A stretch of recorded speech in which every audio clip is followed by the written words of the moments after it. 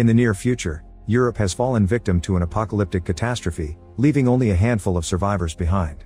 There's a mysterious force around capable of manipulating people into ending things for themselves, and this force is spreading through the whole world.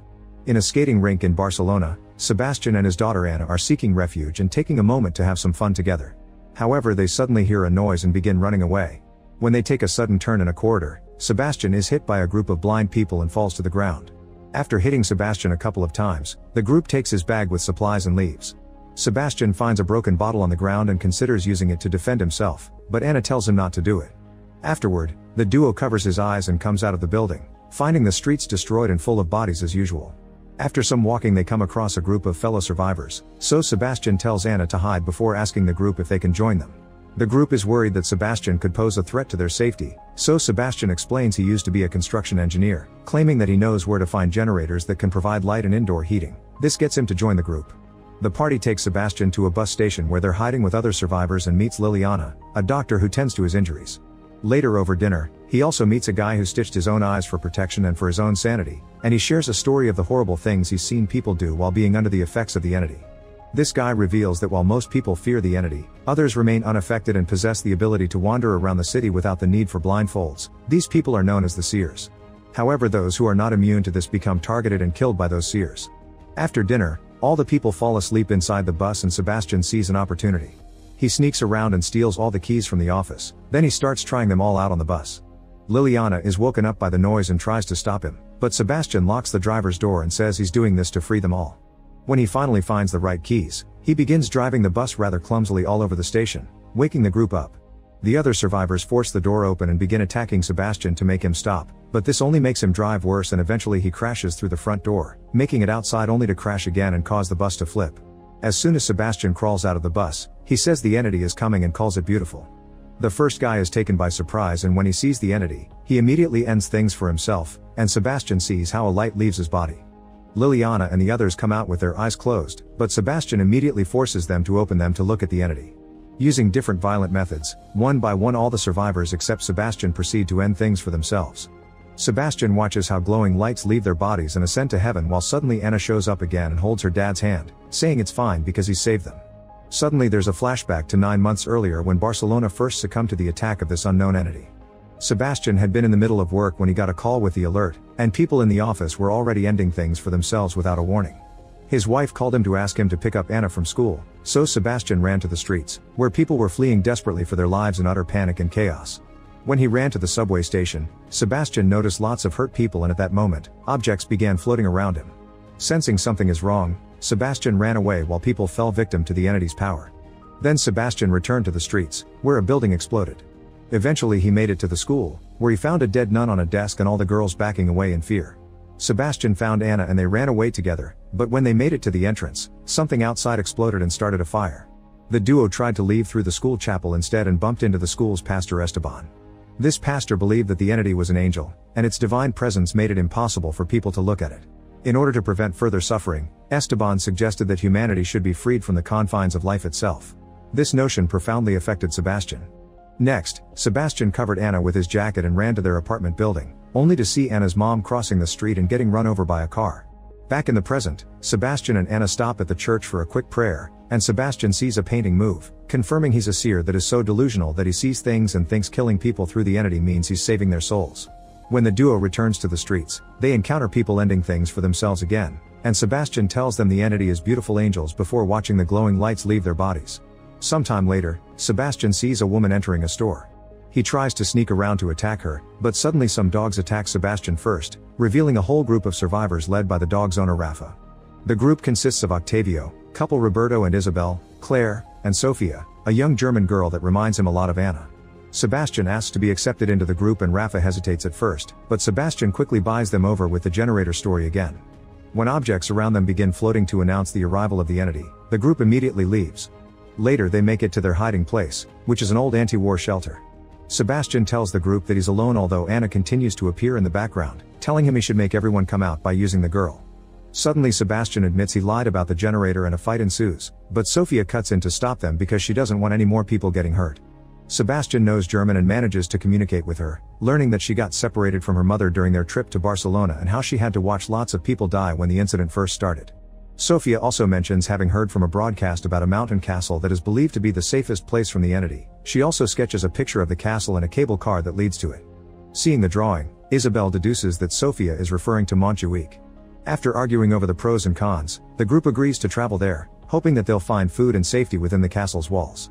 That night before they leave, Sebastian has a very weird nightmare about everything he's gone through. In the morning, they start making their way to Montjuic, only stopping once to get a map. Being outside again brings back another flashback, showing Sebastian eight months ago using the voice from his GPS to guide him to the hospital, where he asked for a doctor for Anna who had a fever. Suddenly things started floating, and Sebastian had to go back to the apartment without a cure. Back in the present, the group stops to rest for the night, and Sebastian continues to see Anna following them from afar. Once everyone has fallen asleep, Sebastian uses the chance to damage the dog's leash. The next morning on the streets, the group is suddenly surrounded by the entity, which uses the voice of people's lost loved ones. As everyone begins feeling confused and distracted, the leash breaks and the dogs run away. Sofia hears her mom telling her to uncover her eyes, but Octavio stops her just in time. Rafa is searching for his dogs and when he hears them crying in pain, he removes his blindfold, only to see the entity and immediately die. The dogs come to check on him and so does Roberto, only to get bitten by the animals. At that moment, Octavio finds a house they can use and blows his whistle so everyone can follow him inside.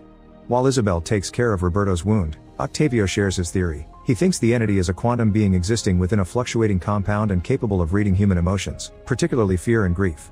This makes Sebastian start having doubts, but when he discovers Sofia won't stop crying, he gives her Anna's necklace. This causes another flashback to start. Esteban and his followers were on the streets forcing people to open their eyes to free them, and Sebastian did his best to protect Anna from the sound of death by keeping her in the apartment with music. Back in the present, Sebastian keeps seeing Anna around, which confirms she's an apparition and not real. Claire tries to bond with Sebastian, reminding him that the entity uses their loved ones to manipulate him at the same time Anna's apparition keeps talking to him. This makes his doubts worse. Suddenly Roberto passes out because his wound is infected, so Octavio, Sebastian, and Claire begin investigating the building to find medicine. In a room with an open window, Sebastian sees Anna again and tells Octavio to come over, claiming the window is closed. Octavio comes while uncovering his eyes and sees the entity, causing him to immediately end things for himself.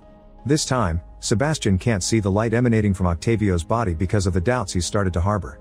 Things begin to shake as Anna urges Sebastian to take off Claire's blindfold, but thankfully Claire drags him out of there before it gets worse. They go back to the couple and Claire shares what she's found in the bathroom with Roberto while Sebastian tries to decide if listening to Anna or Sofia. Later, the few remaining members continue their journey through the city toward Montjuic. Sebastian notices there are bodies with Esteban's mark all over the place and suddenly they find their way blocked by a seer on a bike. The group tries to run away, but the seer hits Roberto and Isabel, making them fall. Knowing there's no escape, the couple removes their blindfolds to die together before the seer can take them. Noticing the entity is coming, Sebastian drags Claire and Sofia into a safe building. Claire finally notices that Sebastian's goggles aren't actually dark, meaning he's a seer too and he killed the others. She immediately takes Sofia and they run away, so Sebastian chases them after Anna keeps urging her to kill them. Claire and Sofia run upstairs and reach the roof, but Sebastian corners them and pushes Claire before reaching for Sofia's blindfold. However before he can take it off, he sees Anna again and notices she's bleeding. This makes him feel guilty over his actions, and Sebastian ends up hugging Sofia instead while another flashback takes over. Months ago, Sebastian and Anna were in the apartment celebrating her birthday when suddenly, someone broke in and knocked Sebastian out. When he woke up, he was on the roof with Anna, Esteban, and his followers, who forced Anna to open her eyes and die to the entity. After watching his daughter die, Sebastian looked at the entity too and suddenly Anna's apparition appeared next to him, urging him to free more people. It turns out seers are alive because the entity uses them to get more victims. Back in the present, Sebastian rescues Claire, then to earn her trust once again, he tells her about Anna and explains he's snapped out of it now, so he swears to protect them. At that moment, the seers break into the building, and the trio tries to escape through the roof. A woman comes after them and engages in a fight with Sebastian, trying to ruin his eyes. However Sebastian is stronger and pushes her away, causing her to fall and die. Afterward the trio makes it to the streets and steals a car to escape just in time before the seers can break through the windows. However Esteban and his people have their own vehicles and start chasing them through the city. Sebastian drives as fast as he can while ignoring Anna's ghost, and when they reach the cable car tower, they leave the vehicle and Sebastian makes it explode to kill a few seers that catch up to them. Then Sebastian tells Claire to take Sofia and go on while he holds off Esteban. As the men argue over philosophy, Claire leads Sofia up the old stairs and Sofia almost falls through a broken step, but thankfully Claire picks her up just in time. There's no way to do this while blindfolded, so Claire decides to risk it and take hers off. When they finally make it to the top, Claire discovers that the cable cars are not operational. Thinking quickly, she rings a large bell to create vibrations, luring the entity towards them. As the creature arrives, the surrounding environment begins to tremble, including the cable cars. Claire covers her eyes again as the entity desperately tries to entice them by mimicking the voices of their loved ones, but when Sofia is about to fall, Claire saves her just in time. Meanwhile on the ground, Sebastian sees Anna walk through the car on fire and attacks her to get rid of this painful vision, only to discover it's Esteban and he stabs him with an iron rod. Esteban immediately stabs Sebastian back, and both men keep pushing their weapons not to let the other go. Up in the tower, Claire concentrates with Sofia in her arms and jumps into one of the cable cars, landing safely and finally getting to escape. Esteban dies from the stab wounds and so does Sebastian but first, he sees the cable cars moving, so he dies in peace knowing he helped his friends.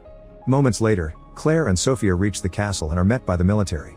They discover there is a whole community living here, and Sofia finally gets to reunite with her mother. Meanwhile Claire is taken to a laboratory, where she undergoes some blood tests. Claire questions the other researchers about the purpose of the tests and they explain that they have been attempting to find a chemical indicator of trauma and precisely determine the emotions targeted by the entity. The goal is to develop an antibody that would provide immunity against the creature. Sometime later, researchers inject the antibody into rats and place their cages inside a containment room. During this process, a seer that appears to be one of the experimental subjects is lying in bed. Suddenly, a menacing growling sound emerges from the containment room, and the seer desperately demands to see it.